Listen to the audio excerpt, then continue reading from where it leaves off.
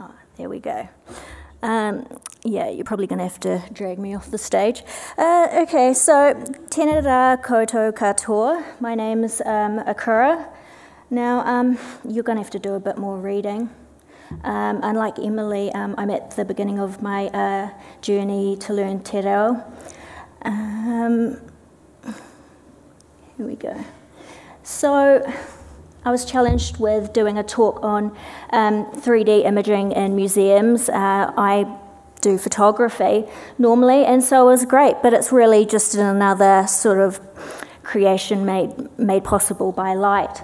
So, for you guys on being kaitiaki, moving into these new spaces that are like coming from uh, te kore, from the void what kind of implications do they have on us as a kaitiaki? They're, they could be creating new um, collections. Um, so, yeah, tikanga for these digital spaces embedded with Māori and um, Moana Pacific data. Yeah, um, does the data become taonga?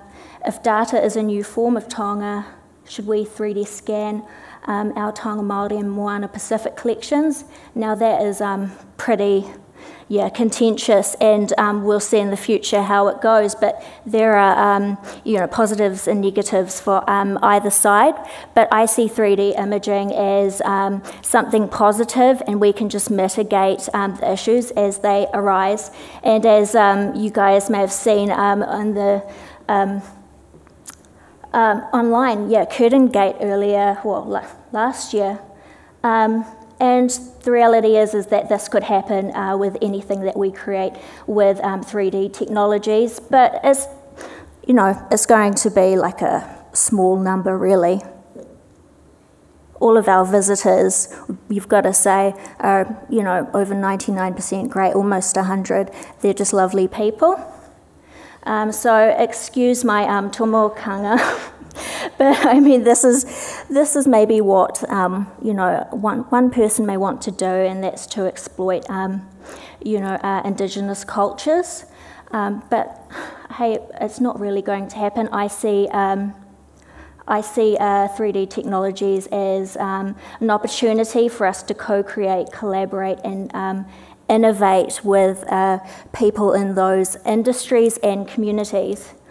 Um, and one of the examples, um, I was listening to um, Bob Marley, One Love, and um, indigenising the latent space in museums, which is um, both phys- um, physical in the galleries. We've got so much latent space that we could be making better use of, and as well in the digital uh, worlds that we create on the internet and as soon as we put on those devices.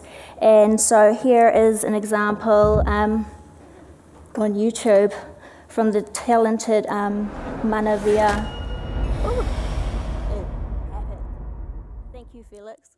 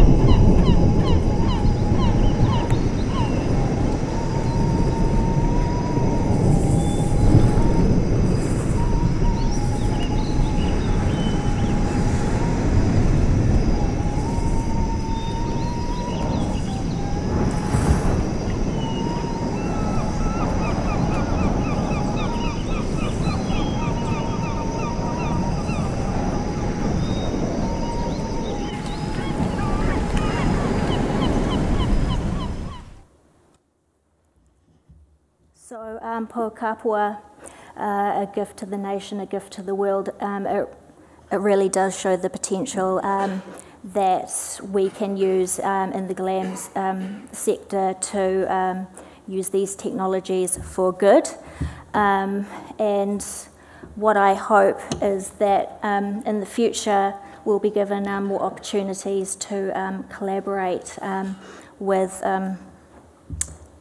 with communities on these because they, they really get you to understand sort of Indigenous perspectives, you know, on spirituality and what it was like back um, in the past. It's a collapsing of um, cosmological space, essentially. So you go from um, a museum, you know, a neoclassical museum into a different world. Um, and also, it's about um, Manaaki. This is the potential of um, digital technologies for us to further extend our reach. so, yeah, 3D technologies are portals. Um, we essentially, well, uh, become tohunga in the sense that we can see into um, other other realms um, that um, only um, you know um, you know gifted people could who could see who were like yeah Fae could see spirits had had access to knowledge uh, that not everyone was. So I think that we need to commit to making um, latent digital spaces in museums um, sites of cultural safety and collaboration for Māori and Moana Pacific communities, um, where uh, you know, if like what I do, if I don't understand somebody's um, perspective, you know, I Google it, use keywords, you know, um, just be willing to see what is going to um, happen um, and to understand what it's like to be, um, you know, another person.